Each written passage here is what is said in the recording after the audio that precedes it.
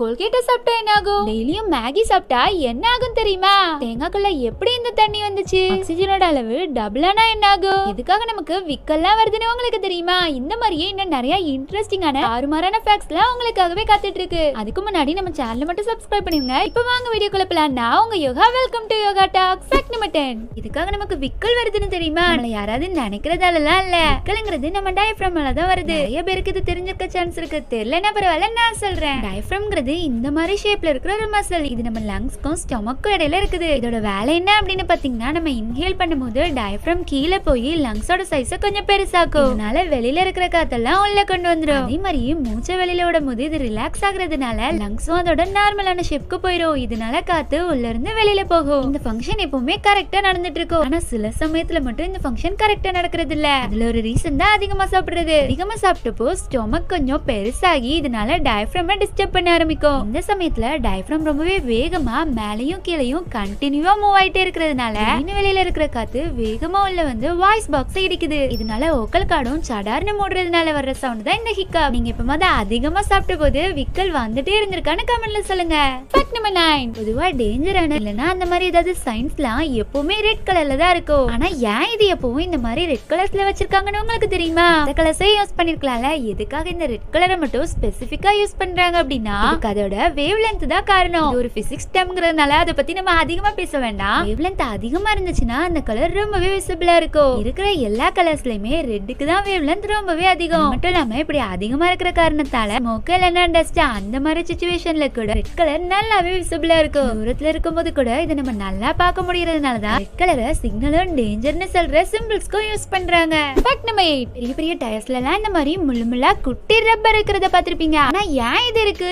எதுக்காக இப்படி வச்சிருக்காங்கன்னு தெரியுமா? குட்டியா இருக்கிற இதுல அப்படி என்ன பர்பஸ் இருக்க போதுன்னு தானே நினைச்சிருப்பீங்க. ஆனா இது ஒரு ரொம்பவே முக்கியமான பர்பஸ்க்காக தான் வச்சிருக்காங்க. ஆக்சுவலா டயர்ஸ்ல ரொம்ப நாள் ஆனதுக்கு அப்புறமா அதை எப்ப சேஞ்ச் பண்ணணுங்கிறத தெரிஞ்சுக்கிறதுக்காக தான் இந்த மாதிரி பார்ஸே இருக்கு. ஒருவேளை டயர்ல ரொம்ப நாள் ஓடி இந்த பார்ஸ்லாம் இல்லாம போயிடுச்சுன்னா அந்த டயர் அதுக்கப்புறமா ரைட் பண்றதுக்கு சேஃப்டி இல்ல. அதனால அதை மாத்தணும்னு அர்த்தம். இப்படி நம்ம தெரிஞ்சுக்கிறதுக்காக தான் இந்த மாதிரி பார்ஸ்லாம் வச்சிருக்காங்க. குட்டியா இருக்கிற இந்த பார்க்கு பின்னாடி இவ்வளவு விஷயம் இருக்குன்னு எனக்கு அதை யோசிச்சு பார்த்திருக்கீங்களா? நம்ம செவன் நம்ம எல்லாருமே கண்டிப்பாக ஒன் டைம் அது செவன் அப் குடிச்சிருப்போம்ல. ஆனால் இந்த செவன் இருக்கிற செவன் அப் அப்படிங்கிறதுக்கு என்ன அர்த்தம் தெரியுமா? இந்த செவன் அப்க்கு என்ன மீனிங்னு என்னைக்காவது யோசிச்சு பார்த்திருக்கீங்களா? இதுக்கு பின்னாடி இருக்கிற இன்ட்ரெஸ்டிங்கான விஷயத்த நீங்களும் தெரிஞ்சுக்கோங்க.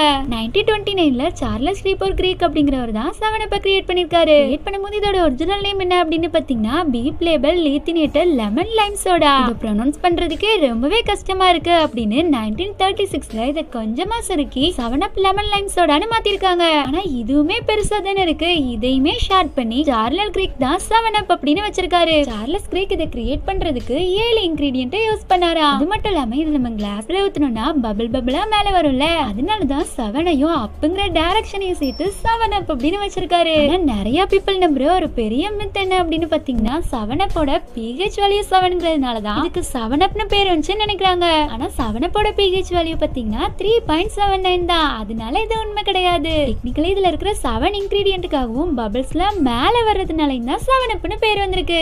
ஃபேக்ட் நம்பர் சிக்ஸ் இந்த டைப் ஆஃப் கத்தில எல்லாம் பேரலரா இந்த மாதிரி குட்டி குட்டி லைன்ஸ்லாம் இருக்கிறத பார்த்துருப்போம். இதுவுமே ஒரு பர்பஸ்க்காக தான் வச்சிருக்காங்கன்னு சொன்ன உங்களால நம்ப முடியுதா? ஒருவேளை இந்த மாதிரி கத்தில எல்லாம் டாப்போட ஷார்ப்னஸ் கம்மியாயிடுச்சு அப்படின்னா பேரலா இருக்கிற இந்த லைன்ல ஒரே ஒரு லைனை மட்டும் கட் பண்ணிட்டோம்னா நியூவா ஒரு ஷார்ப்பான டாப்பே நமக்கு கிடைச்சிரும். ஆனா இதை பண்ணும்போது கொஞ்சம் சேஃப்டியா பண்ணுங்க. ஃபேக்ட் நம்பர் ஃபைவ் இப்பெல்லாம் நம்ம யூஸ் பண்ற தலகாணியோட மெட்டீரியல்ஸ்லாம் சாஃப்டா தான் இருக்கும். ஆனா ஸ்டார்டிங்ல கல்ல தான் தலகாணியா வச்சு யூஸ் பண்ணிட்டு இருந்திருக்காங்க. செவன் தௌசண்ட் பிசிக்கு முன்னாடி இந்த மாதிரி கல்ல தான் தலைகாணியாக வச்சுருந்துருக்காங்க. அதுக்கப்புறமா தான் அதோட கம்ஃபர்ட் ரொம்பவே முக்கியம் அப்படிங்கிறதுக்காக கொஞ்சம் கொஞ்சமாக சேஞ்ச் ஆகி இப்போ நம்ம யூஸ் பண்ணுற தலகாணி வந்திருக்கு. ஏன்னா அப்பெல்லாம் தலகாணிங்கிறது சோல்ஜர்ஸ்லாம் சில சமயம் காட்டிலேயே படுத்து தூங்கும் போது அவங்க தலையை தரையில் இருக்கிற பக்ஸ் அந்த மாதிரி இதுல இருந்து கொஞ்சம் மேலே தூக்கி வைக்கிறதுக்காக தான் யூஸ் பண்ணியிருக்காங்க.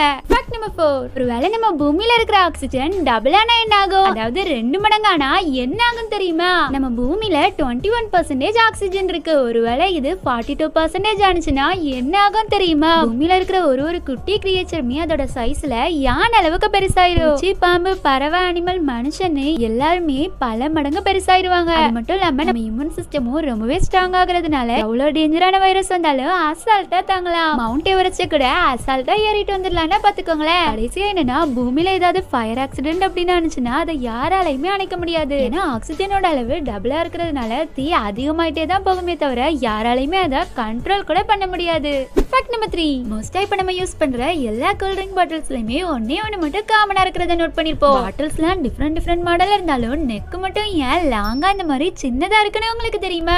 இந்த மாதிரி சின்னதா நெக் இல்லாத பாட்டில் எல்லாம் யூஸ் பண்ணும்போது அதுல இருந்து தண்ணியா இன்னொரு இதுக்கு பாஸ் பண்ணா நிறையவே அதுல இருந்து கீழே தான் கொட்டும். இந்த மாதிரி லாங்கான நேரோ நெக் யூஸ் பண்ணும்போது அதுல தண்ணி குடிக்கிறதுக்கு அதுல இருந்து மத்ததுக்கு ஊத்தவும் ரொம்பவே ஈஸியாவே இருக்கும். அது மட்டும் இல்லாம இந்த மாதிரி சின்ன நெக் இருக்கிறதுனால கம்மியான பிளாஸ்டிக் தான் தேவைப்படும். அதனால அதை உருவாக்குற காஸ்ட்டுமே கம்மியாகும். இன்னொரு மெயின் ரீசன் என்ன அப்படின்னு பாத்தீங்கன்னா இந்த மாதிரி நேரோ நெக் இருக்கிறதுனால இதால கூலிங்க ரொம்ப நேரம் ஸ்டோர் பண்ணிக்க முடியுமா? நெக் இல்லாத பாட்டில்ல நம்மளோட கையை அதிகமா டச் ஆகுறதுனால பாடியோட ஹீட் அந்த பாட்டிலுக்கு ஈஸியா பாஸ் ஆகி உள்ள இருக்கிற பொருளோட கூலிங் கொஞ்ச நேரத்திலே கம்மியாயிரும். அதை கம்பேர் பண்றப்போ இந்த மாதிரி நேரோ நெக்ஸ் இருக்கிற இடத்துல கொஞ்சமா தான் பாடி டச் ஆகுறதுனால கம்மியான ஹீட் தான் டிரான்ஸ்பர் ஆகும். அதனாலே உள்ள இருக்கிற பொருளும் இன்னும் கொஞ்ச நேரம் கூலிங்கா இருக்கும். இதுக்காக தான் பாட்டில்ஸ்ல எல்லாம் இந்த மாதிரி லாங்கான நேரோ நெக் இருக்குது. ஃபேக்ட் நம்பர் டூ இப்போ நம்ம எல்லாம் ஒன் டைம் அது இளநீ குடிச்சிருப்போம். ஆனால் இந்த இளநீக்குள்ள எப்படி தண்ணி வந்துச்சுன்னு எனக்கு அதை யோசிச்சு பார்த்துருக்கீங்களா?